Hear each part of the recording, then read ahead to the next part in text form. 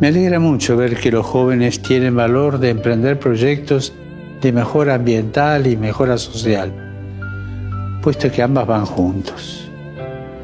Los adultos podemos aprender mucho de los jóvenes, pues en todo lo que tiene que ver con el cuidado del planeta, los jóvenes están a la vanguardia.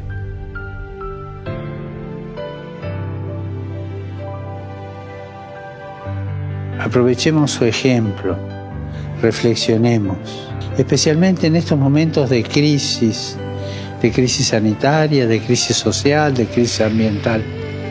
Reflexionemos sobre nuestro estilo de vida, sobre cómo la forma de alimentarnos, de consumir, de desplazarnos, o el uso que hacemos del agua, de la energía y de los plásticos y de tantos bienes materiales son a menudo perjudiciales para la tierra. Elijamos cambiar. Avancemos con los jóvenes hacia estilos de vida más sencillos y respetuosos del medio ambiente.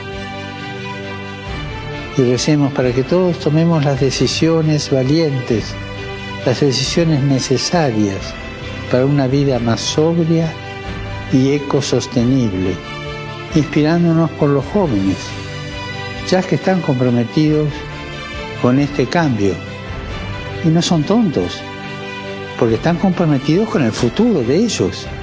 Por eso quieren cambiar lo que ellos van a heredar en un tiempo en que ya nosotros no estaremos.